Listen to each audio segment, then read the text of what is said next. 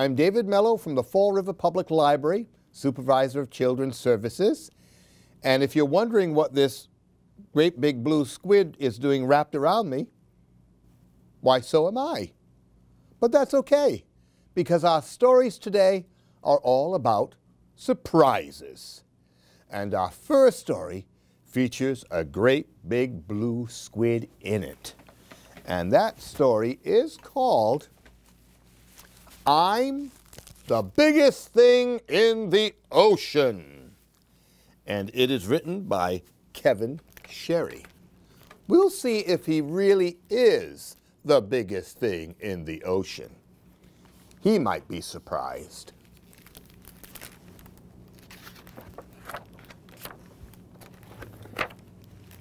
I'm a giant squid, and I am big. He certainly is. I am bigger than the shrimp. I'm bigger than these clams. I'd say he was. I'm bigger than this crab.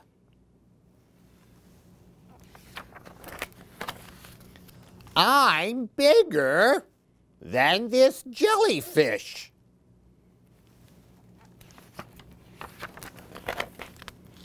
I'm bigger than these turtles. And yes, he is. Let's count them together. How many turtles are on this page? One, two, three, four, and five. And he's bigger than all five of them. I'm even bigger than this octopus. Shh. I'm bigger than this shark. Shh. I'm bigger than this fish and this fish and this fish and this fish and that fish.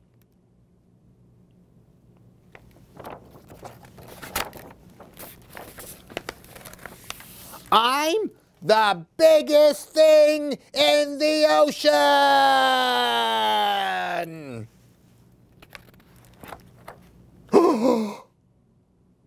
Uh-oh. What's just come along? It looks like a whale.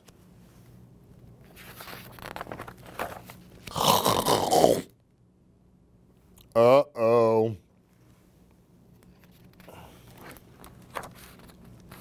And there's our friend the blue squid inside the belly of the whale with all these other little fish that he met. I guess he wasn't the biggest thing in the ocean. I think he realizes that now. I'm the biggest thing in this whale!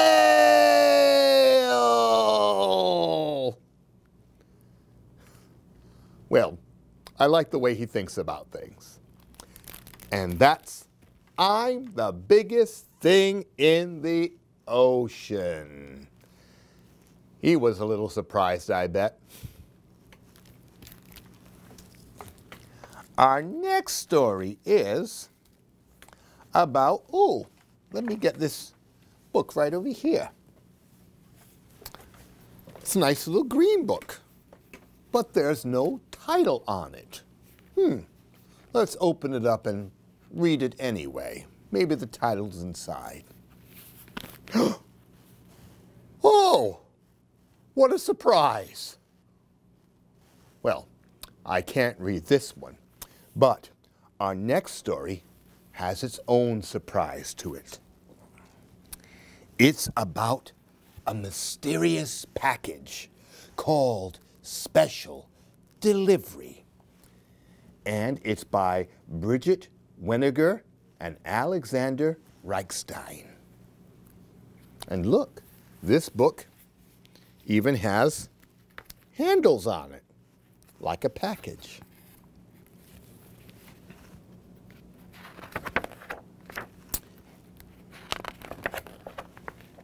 One morning, the doorbell rang. Ding dong.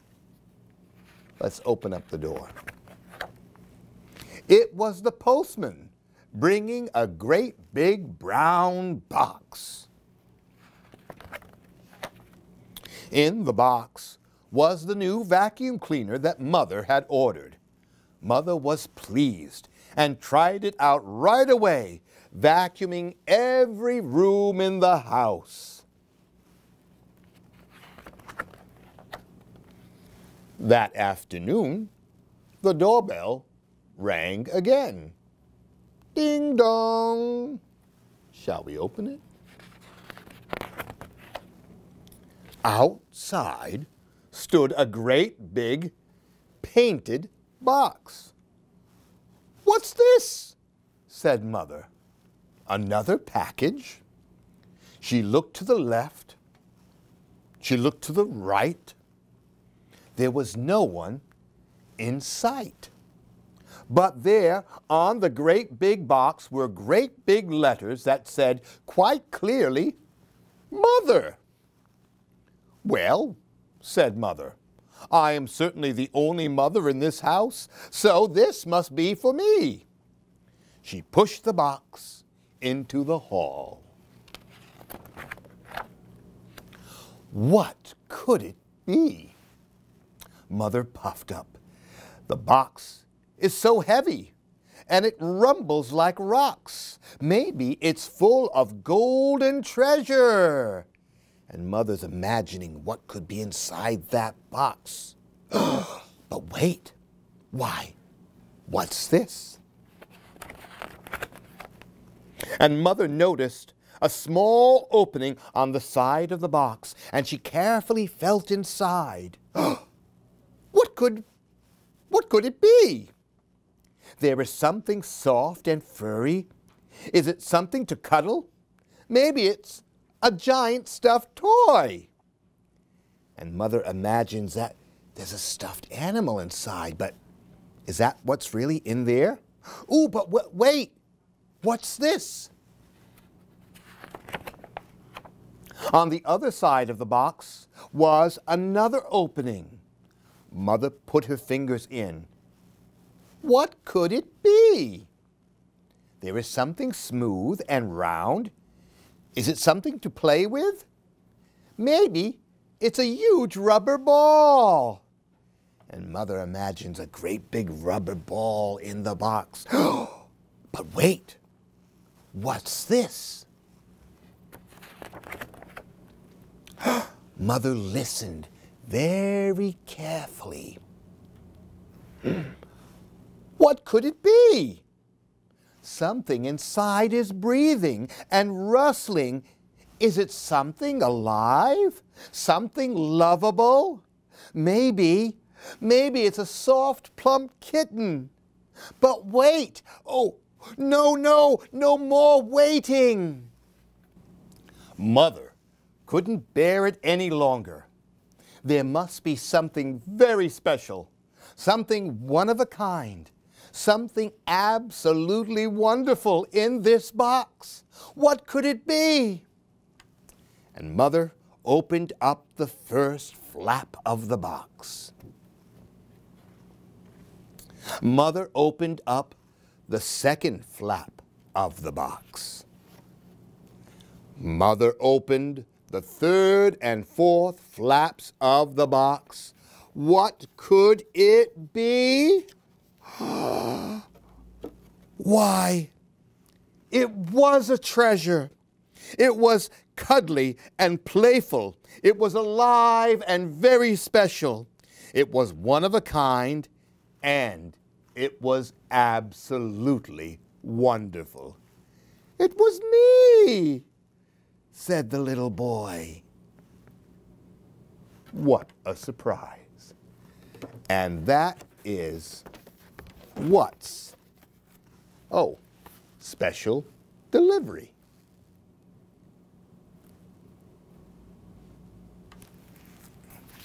Now, our next surprise. Ooh! Before I read our next book, I, I notice a, a couple of boxes here. I wonder what could be inside. I love surprises. Let me see. Oh, this looks like a nice little gift box right here. I wonder what could be inside. Should we check inside and look? Let's see. Something seems to be moving in there. Are you guys ready? Oh, mice. What a surprise indeed. I wasn't expecting three little mice to be in that little box. Hello, fellas. Well, why don't you guys go back to sleep? Okay, go back in there. That's it. That's it. We'll let you take a little nap. Okay, that was that was quite a surprise. Now, ooh, there's another box over here, a blue one. It looks like a chest. Shall we see what's inside? Hmm. Let me see. Oh, there is a lock on this one. We'll we'll need a key. There, my imaginary key. Shall we open it? Okay, let's look inside and see what could be in this box. Do you have any idea what could be in here? I know I don't. Three little bears. Why, look at that. Hello, bears in a box. Wow, they're jumpy little fellows. I wasn't expecting bears, were you? Okay. Well, guys, why, why, don't you go back inside for a little while? I'll let you out later. I, I have another story I have to be doing. Here we go. Quite a surprise. Oh, and there's one more box. Very curious. It's shaped shaped like a house. What what could be inside this box? Why, it's a house made of bricks. Would you have any idea what could be in this house? Let's check and see. Let's uh, Let's be polite and we'll knock on the front door, shall we? Anybody in there?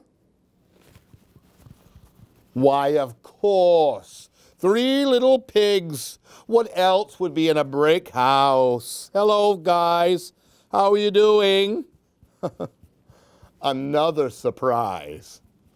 Well, there is a surprise in store in this book right over here. We're going to pretend to go down into the deep blue sea. There are many wonderful surprises awaiting us down there. And this book is written by David A. Carter and Peter Seymour.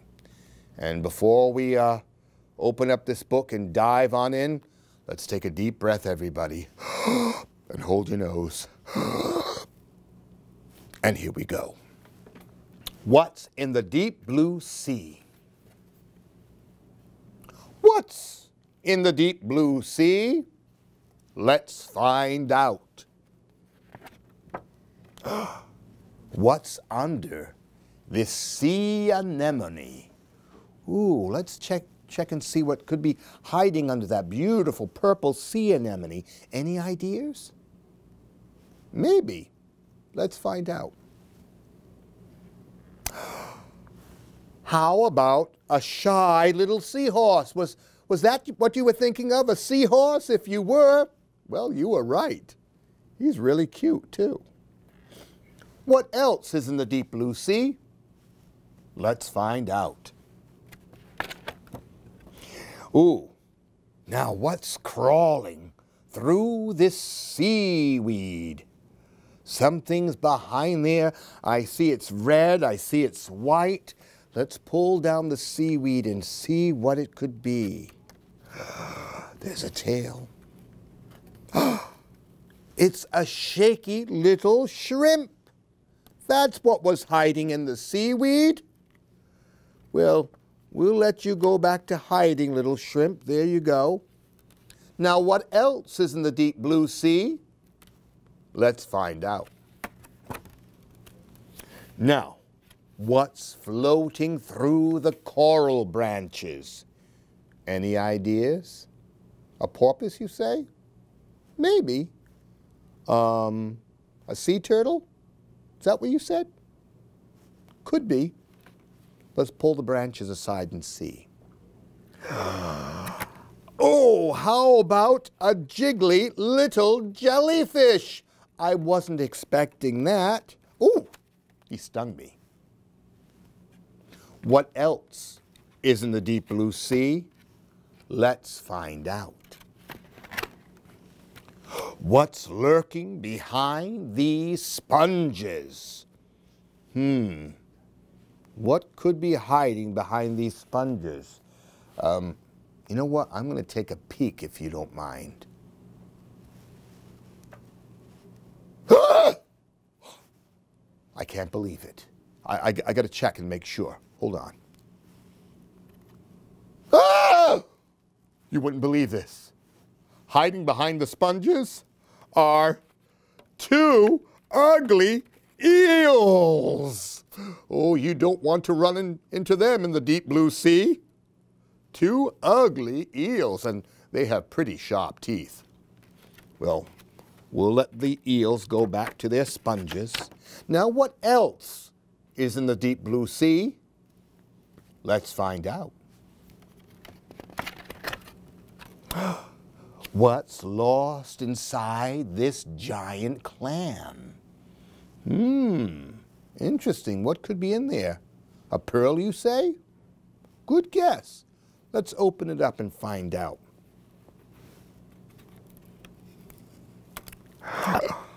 How about two squiggly squids? Look at those guys. They were hiding in the clam. well, we'll let you go back in that clam, guys. What else is in the, in the deep blue sea? Let's find out. What's hiding in the treasure chest? Ooh, treasure, you say? Wonderful guess.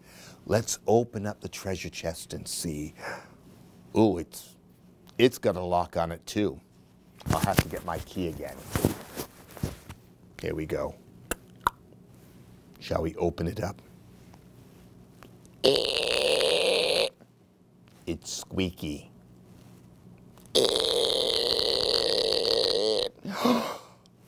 Why? It's an angry anglerfish. Ooh, they are fish that live in the deepest parts of the water and they glow. But what could be under the anglerfish? Let's find out. How about a golden goblet? Why, yes, there is a treasure in there after all. Now, what is inside this mysterious shipwreck? Shall we find out? Okay. How about a great, big, wiggly octopus?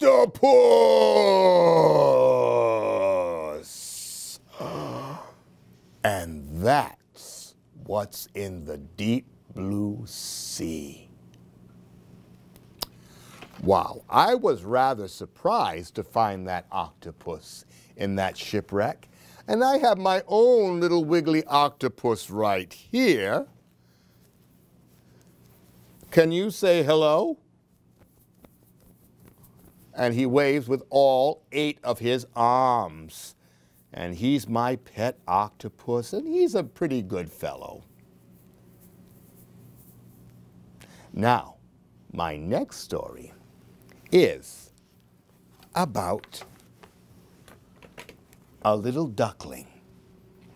And this is a wonderful little book with a great big surprise. And it develops as we're reading along. So see if you can pick out what the surprise is in this book as we turn the pages. It is called Ducky's Rainbow by Frances Barry.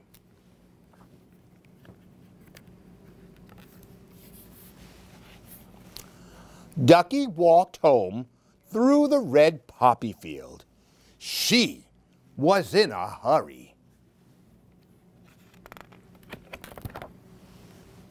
She hopped under the orange bridge.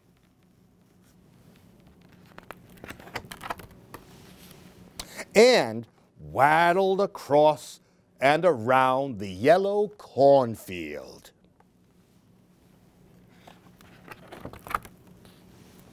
She hurried past the big green tree.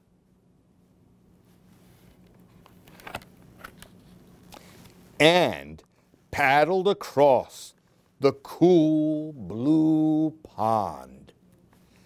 Can you see what's happening?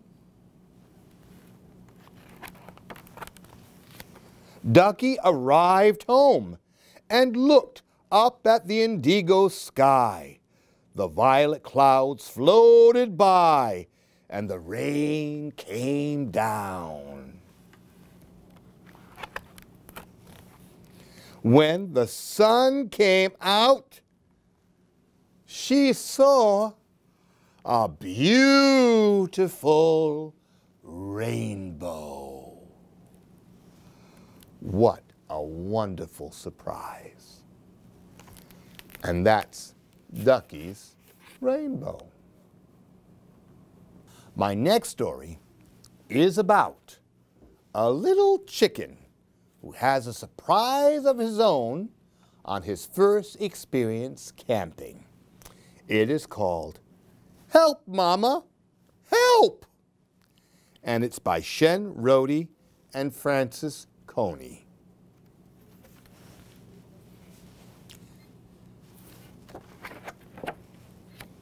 Baby Chick stood on his toes and he looked into the mirror. My, he said proudly, I'm a big chick now, big enough to camp out all by myself. Baby Chick took his camping gear and Bunny into the yard. Goodbye, baby chick, said Mother Hen. Be careful.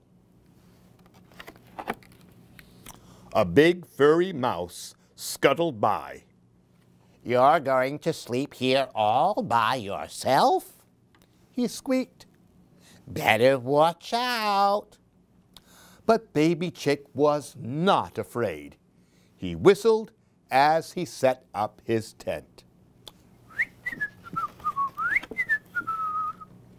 A large frog hopped by. Ribbit, ribbit, ribbit. Wouldn't you feel safer at home in your own bed? He croaked. But Baby Chick was not afraid. He just kept on whistling.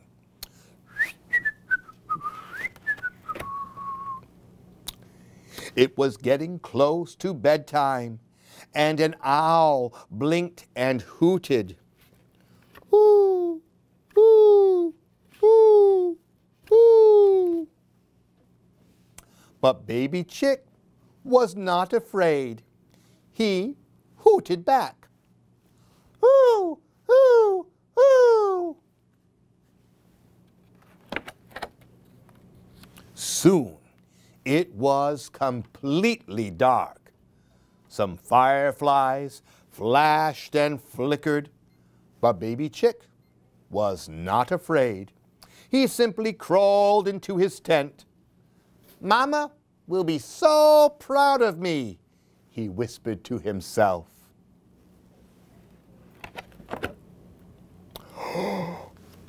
wow, what's that? Baby Chick turned on his flashlight and placed it on the floor near his sleeping bag. Suddenly, a dark shape sprang up over the tent. a ghost! Cried Baby Chick. A ghastly ghost! Baby Chick tried to escape, but the more he moved back away from the ghost, the bigger the ghost grew until it was enormous. Oh no! he cried. It's coming to get me. Help, Mama! Help! Uh-oh. Baby Chick look, looks like he's in a pickle there. Baby Chick grabbed his bunny and flew out of the tent. He ran all the way home and jumped into his mother's arms. A ghost! A ghost! I saw a ghost! He cried. Show me, said Mother Hen, following baby chick back to the tent.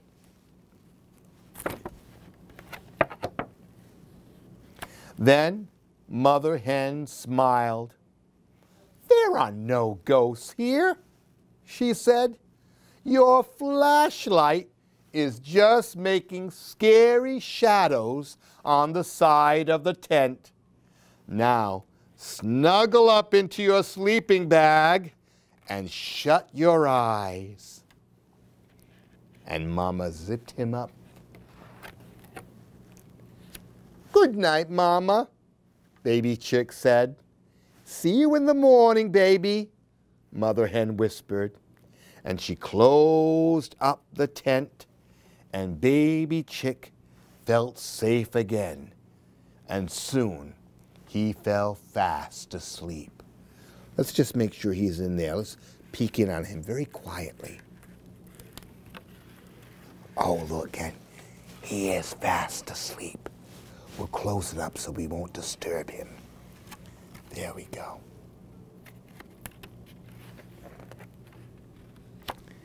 And in the morning, all was well.